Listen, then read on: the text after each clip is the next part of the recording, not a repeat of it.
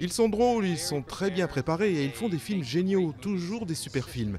Et ils aiment tellement ce qu'ils font que ça rend la tâche facile.